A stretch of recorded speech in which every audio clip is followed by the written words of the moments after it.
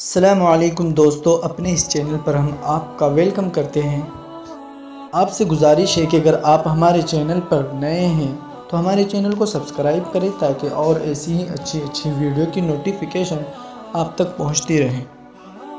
दोस्तों, जैसा कि आप सभी जानते होंगे, मुहर्रम का महीना चल रहा है और हज़रत इमाम हुसैन रज़ी अल्लाह की शहादत का वाक़ भी इन दिनों बहुत ज़्यादा सुनने में आता है और बहुत ज़्यादा लोग हज़रत हुसैन की शहादत के वाक़ को सुनते हैं।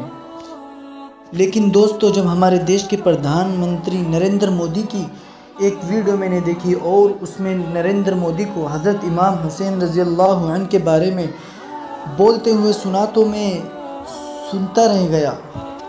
मेरे पैरों तले ज़मीन खिसक गई कि नरेंद्र मोदी भी ऐसी बात कह सकते हैं क्या?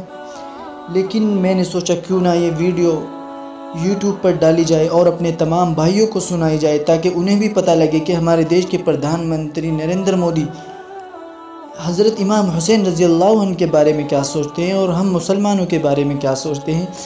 आपको वो वीडियो में दिखाऊँ, उससे पहले आपसे गुजारिश है कि आप हमारे इस चैनल को सब्सक्राइब करें और वीडियो को लाइक ज़रूर करें और मुहर्रम का महीना चल रहा है, ये वीडियो सब भाई को दिख जाए इस उम्मीद से।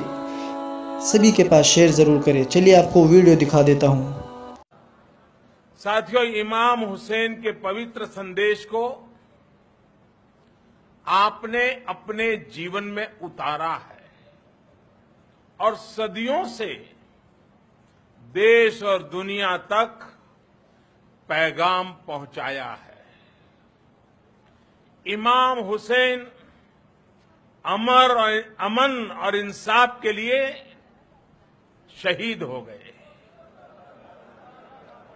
उन्होंने अन्याय और अहंकार के विरुद्ध अपनी आवाज़ बुलंद की थी। उनकी ये सीख जितनी तब महत्वपूर्ण थी, उससे भी अधिक आज की दुनिया के लिए ये अहम है।